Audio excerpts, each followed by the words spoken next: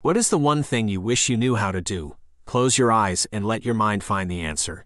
I guarantee you already have something in mind. Why? Because all of us were sold on the idea that we had to choose a path and stick to it, or rather make serious decisions about a path in life at an early age, and then we realize there are other interesting things out there, maybe even more attractive than the path we chose. So you have an idea in mind, a subject or skill, that's perfect.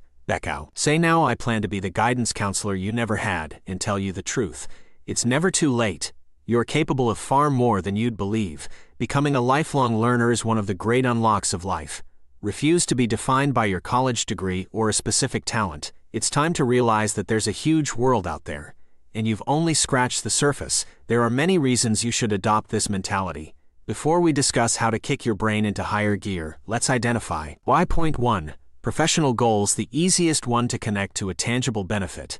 Nearly every skill you have learned in school will become outdated. Lifelong learning is essential to stay sharp in your career field. Point 2. Leadership opportunities Some of the best leaders are those who understand a variety of skills. When you can appreciate and speak to a broad set of topics, you can relate to far more people. Point 3. Health Taking care of your mental health is as important as taking care of your physical health. H. Continued education will strengthen the health of your brain, fighting off the onset of dementia and Alzheimer's. Point 4. Satisfaction One of the great joys in life is deciding to learn something new and achieving the goal. In the end, you've taken full control of the person you've become. Now, you're sitting there thinking, yeah, I have always wanted to learn how to draw dog portraits in charcoal. I am going to do it. I applaud your enthusiasm. Now let's talk about action point 1 reframe your goal lifelong Lee. RNING is an opportunity to enrich your life. It can be your secret, your North Star, nobody can take it away. Point 2 Find your learning style, determine your preferred way to take in new information. Think about the last time someone shared or taught you something and it really stuck. Identify how they communicated that information. That's your learning style. Point 3. Identify your interest, choose something that you love and want to know more about. It can be something you plan to monetize or simply something. G that enriches your life. Point 4 Growth mindset Your brain is far more malleable than you can believe. Research on brain plasticity shows that connectivity between neurons can change with experience. You can learn far more than you've been led on. It all comes down to wanting to do and be more. Life is a learning experience, there is no way around it. What better way to live than by taking an active part in that? Let's recap the benefits 1. You'll grow your professional skill set. Point 2. Leadership opportunity. S will be created. Point 3. It benefits your health. Point 4. You will feel so very satisfied. Let's recap your Toto list 1. Reframe learning as an opportunity. Point 2. Find your preferred learning style. Point 3. Identify your interest. Point 4. Adopt a growth mindset. So, what is the one thing you wish you knew? Take that first step. Embrace the power of lifelong learning and watch as your potential expands beyond what you ever imagined possible. Subscribe, like, and hit the notification bell to stay updated with our latest feed. OS. Leave a comment below on the action you're going to take after watching this video. And if you found this video valuable, consider giving a tip proportional to the value you received. The link can be found in the description. Ladies and gentlemen, welcome back to our channel, where we delve deep into the realms of personal growth, mental freedom, and self-empowerment. Today we're going to explore a topic that has plagued humanity since the days of ancient philosophers' mental enslavement. The great Stoic philosopher Seneca once wrote, Show me a man who is not a slave, and I will show you a free man. It may seem ironic that despite being conquerors, politicians, CEOs, and bosses, these individuals fail to rule their own minds. They too are slaves to their own fears, ambitions, lusts, and greed, but the Stoic philosophers, the likes of Marcus Aurelius Diogenes, Heraclitus, and Socrates, knew something others failed to grasp. They understood the importance of taking control of their own minds, of escaping the turbulence of their emotions, and embracing personal responsibility. You see, we often find ourselves blaming external factors for our state of mind, our job, our wealth, or the lack thereof. We blame our UPB, ringing our circumstances, and the privileges we perceive others to have. But let me ask you this Does privilege and wealth truly grant you mental freedom? Take a look at Hollywood, the epitome of wealth, fame, and privilege. Yet behind the glimmering facade, we find stories of dysfunctional behavior, meltdowns, and a constant struggle to maintain one's sanity. Money and fame cannot buy you mental freedom. They cannot shield you from your own internal battles. Life, my friend, is a series of setba, CKS, and events beyond our control. We face the loss of loved ones, financial ruin at the hands of others, rejection, heartbreak, and the crushing feeling of failure. And through it all, we craft our own unique identity. The story of who we are now here's the truth fate moves on, much like a linear movie, and you have a choice. You can be an actor, allowing others to have power over your own happiness and freedom. Or you can be the director of your life, embracing personal responsibility and tacky. In charge of your choices, to believe that others and external circumstances control how we think, feel, and act is to subject ourselves to mental enslavement. It keeps us trapped in our victimhood, taking pleasure in our own self pity, and justifying our lack of progress. But the world owes us nothing, my friend. No, there is no knight in shining armor coming to save us from our mindset of victimhood. We must free ourselves from this mental prison by embracing personal responsibility for our own sea hoises. Only then can we truly break free from the chains that bind us, when we take ownership of our lives, when we understand that our decisions shape our reality. We open the door to a world of possibilities.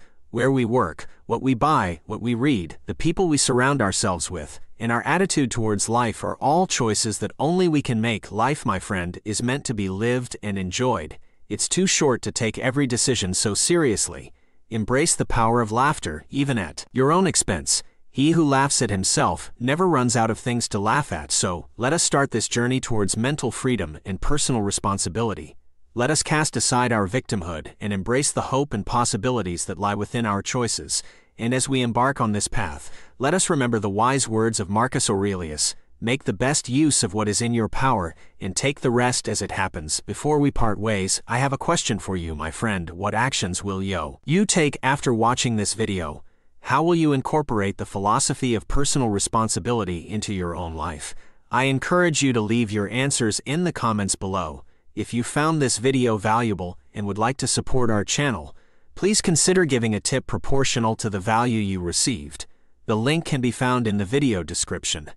And of course, don't forget to subscribe to our channel, hit that like button, and turn on the notification bell to stay updated WITH our latest videos. Thank you for watching, and remember, the key to mental freedom lies within you. Hey there, it's Sunday night, and you find yourself lying in bed staring at the ceiling in the darkness. You glance at the digital clock on your bedside table. It reads 2:39 a.m. Thoughts start racing through your mind, errands you have to run, project deadlines looming over you.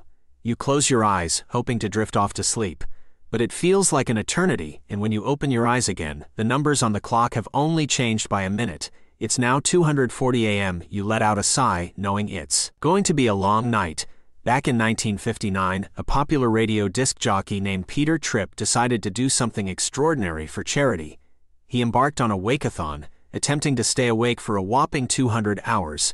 Scientists were present, monitoring his health and providing assistance, Tripp initially performed energetically, entertaining his listeners from a glass booth in Times Square. But as the days went on, his mental and emotional state began to deteriorate. He experienced hallucinations and even snapped at those around him. Tripp's experiment took a toll on his well being, both physically and mentally. Research conducted by Dr. Maiken Nedergaard reveals the importance of sleep in maintaining brain health, during sleep, the brain clears itself of harmful toxins that accumulate throughout the day. Lack of sleep can lead to an increase in beta amyloid, a sticky plaque associated with Alzheimer's disease. Unfortunately, insomnia affects a significant portion of the population. Around 30 to 40% of people experience symptoms of insomnia in a given year, and about 10 to 15% suffer from chronic insomnia, the University of Pennsylvania conducted an experiment to study the effects of sleep deprivation on different groups of people. One group slept for four hours a night, another for six hours, and the third for a full eight hours. The groups underwent psychomotor tasks every two hours to measure their alertness. The results were clear the four and six hour sleep group S performed poorly as the days progressed, with the six hour group eventually performing as if they had been deprived of sleep for 24 hours straight.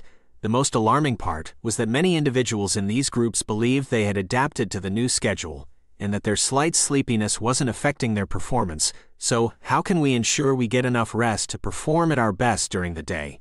While medications can be an option, there are strategies you can try for a good night's sleep. Let's explore a few of them. Point 1.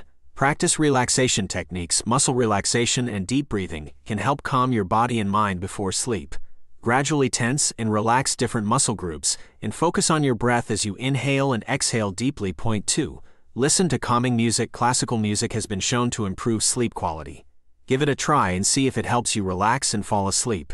Binaural beats, which create an illusion of a third tone when listened to with headphones, have also gained popularity. While the scientific evidence is mixed, if it works for you, go for it. 3. Jot down your thoughts if your mind is filled with thoughts and worries. Keep a pen and paper near your bed. Write down whatever is on your mind, whether it's reminders, anxieties, or positive thoughts.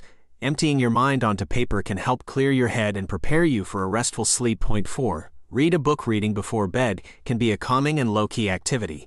It's a way to unwind and learn something nay. W. Minus the stimulating effects of electronic devices. Opt for a paper book if possible, as it provides higher memory retention and avoids the interference of light emitted by screens. Insomnia can be a recurring issue influenced by stress and life events. Taking steps to improve your sleep health is essential.